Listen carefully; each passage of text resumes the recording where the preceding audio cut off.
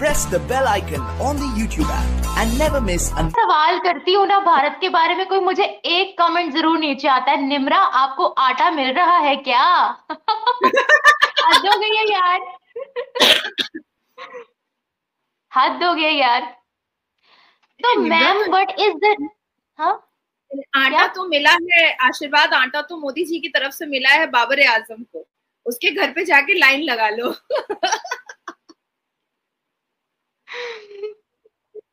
Ma'am what is the next plan क्योंकि बोला जा रहा था कि फाइव ट्रिलियन डॉलर्स की जीडीपी को टच करेंगे तो अब प्राइम मिनिस्टर मोदी ने ये भी बोला था कि मैं अपने थर्ड टेन्योर में uh, इंडिया को बहुत जल्द तीसरी बड़ी इकोनॉमी बना दूँगा। तो ये टारगेट कब तक अचीव होने वाला है? What is the prediction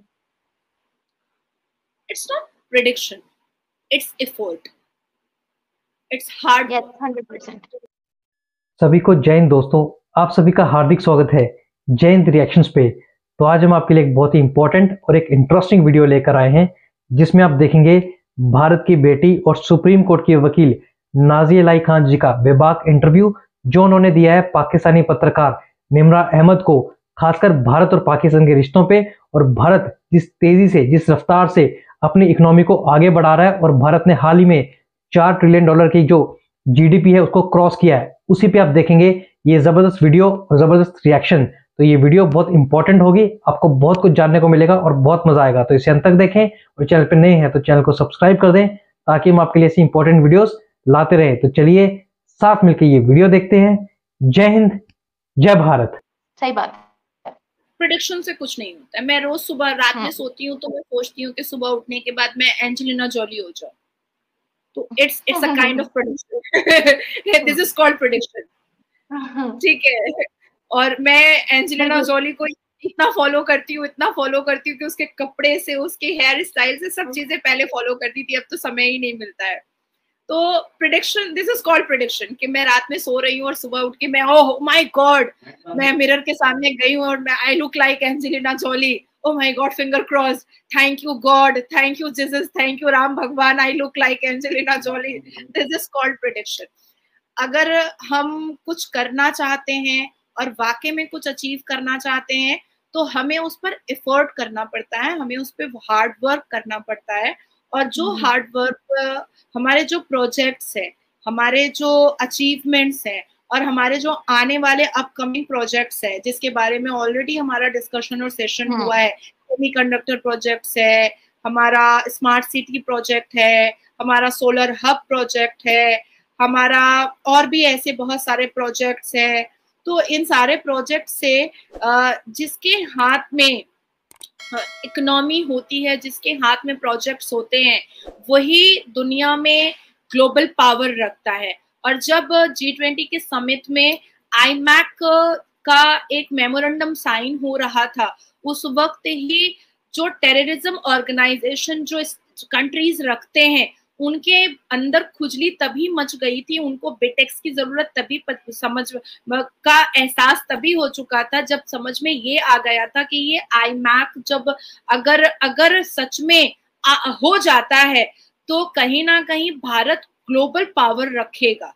जिसके हाथ में इकोनॉमी है उसके हाथ में ग्लोबल पावर है और जो प्रोजेक्ट्स हमारे बन चुके हैं 90 परसेंट उस हिसाब से इंडिया थर्ड नंबर पे नहीं मुझे लगता है कि सेकंड नंबर पे विद इन वन ईयर आने के लिए कोई और और दुविधाओं की ज़रूरत नहीं है। हम्म। बिल्कुल भी ज़रूरत नहीं है।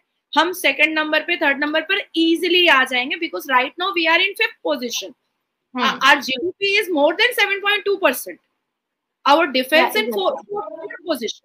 So we are very strong in in any side. Uh, we have very good bilateral and trade relation with uh, each and every countries. So uh, we are uh, in a very good, very good position right now.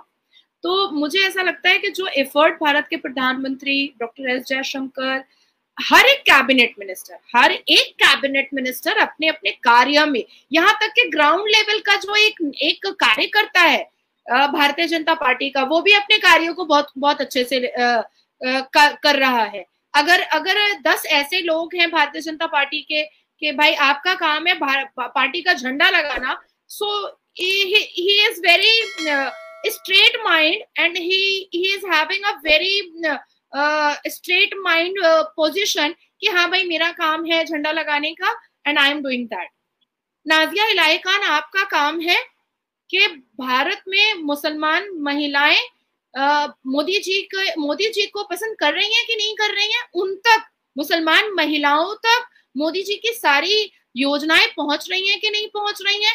ये जानना है आपका काम. And I am doing my job I am doing my work inside the court room जितनी भी Islamic कुप्रथाएँ हैं, उसको बंद करना है। This is my duty we are not sex try only ना? We have our own identification we are womens we are female by gender we are female it's not mean के people can use to us people can make us fool in any circumstances और in any way we are not sex try we have our own identification तो ये सारी चीज़ें जो as a as a motivational speaker मैं कर रही हूँ, और आज देखो भारत की मुसलमान लड़कियाँ सब शेरनी हो गई हैं भाई।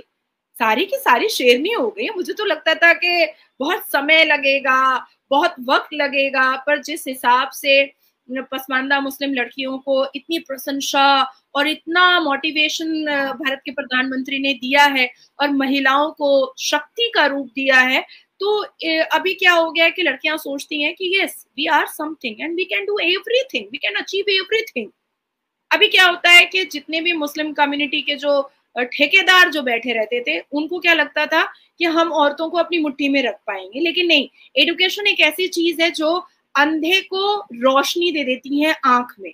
और जैसे जैसे मुस्लिम लड़कियाँ एडुकेट हो रही हैं वैसे वैसे वो बहुत ज़्यादा इंटेलिजेंट हो रही हैं और उनको अच्छी और बुरी बातें समझ में आ रही हैं।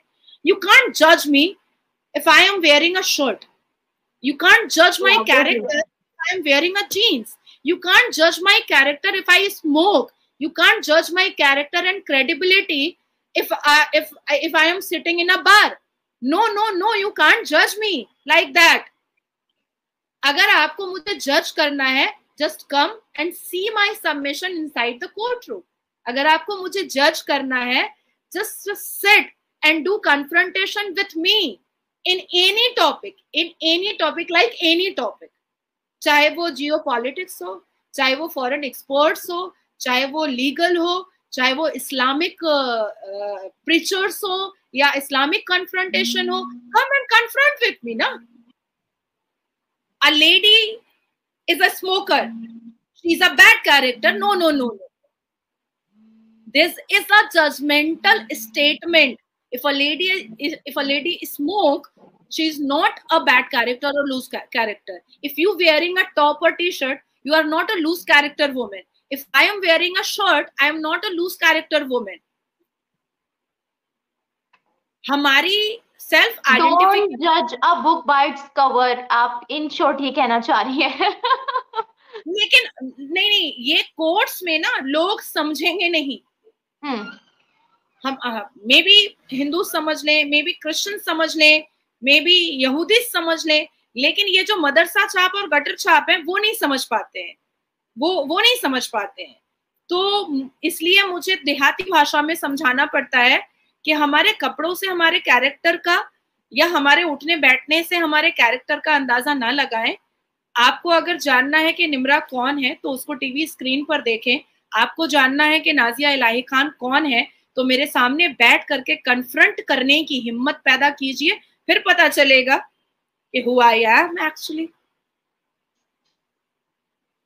बिल्कुल सही है मैम और मैं दोबारा फिर से एंड पे कहना चाहूँगी कि बहुत बहुत मुबारक हो जीडीपी बहुत ज़बरदस्त तरीके से ग्रो कर रही है और आने वाले अरसे में मुझे तो लगता है कि बहुत जल्द ही तीसरी बड़ी इकोनॉमी की का या चौथी बड़ी इकोनॉमी बनने का जो ख्वाब है जो टारगेट सेट किया गया है वो अचीव हो जाएगा।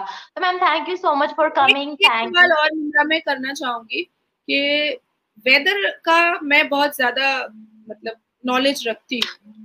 हम्म। ये भूखमरी की वजह से आपको इतना ठंड लग रहा है कि आपने इतना मोटा स्वेटर पहना है? या वाकई में ठंड सर्दी हो गई एक्चुअली रात को काफ़ी ठंड हो जाती है। भूखमरी से हद हो गई है। रात को यहाँ बहुत ठंड हो जाती है और जहाँ मैं जाती हूँ प्रोग्राम करने वहाँ मैं काँप रही होती हूँ। तो फिर मुझे ये पहन के आना पड़ा। मैं एक्चुअली यूनिवर्सिटी में हूँ। प्रोग्राम तो जब आप करने के लिए जाती हैं तब लोग आपको बड़ी बड़ी बड़ी बड़ी भाषणबाजी देते हैं। तो आप बड़ा बड़ा चिल्लाती भी नज़र आती है कि आप मुझे देख ही क्यों रहे आप मुझे देख ही क्यों रहे आप गलत जगह देख ही क्यों रहे तो मुझे लेकिन आज तक समझ में नहीं आता है कि मुसलमान मर्द चेहरा देखकर बात क्यों नहीं करते हैं? छाती देखकर बात क्यों करते हैं? मुझे नहीं समझ में आता है। थोड़ी सी एजुकेशन की कमी है और ma'am thank you so much for coming thank you so much दाल में थोड़ी नमक कम नहीं है। पूरी पूरा ही नमक डाला ही नहीं गया है। थोड़ी एजुकेशन की कमी नहीं है एजुकेशन है ही नहीं। Thank you so much ma'am for coming दोस्तों आशा करता हूँ कि वीडियो को अपने अंत तक देखा होगा और ये वीडियो और ये पूरा डिस्कशन आपको काफ़ी पसंद आया होगा। नाजियालाई खान जी के जो भी रिएक्शन है उस पर आपके जो भी विचार हैं आप अपने विचार हमें कमेंट सेक्शन में लिखकर ज़रूर बताएँ। हमें आपके कमेंट्स का इंतज़ार रहेगा और भारत जिस तरक्की से जिस रफ्तार से आगे बढ़ रहा है, उसके बारे में जो भी आपकी राय है या जो भी आपके व्यूज़ हैं, आप हमें ज़रूर बताएँ।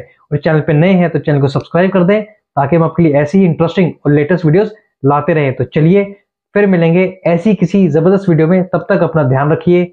जय हिंद, जय भारत।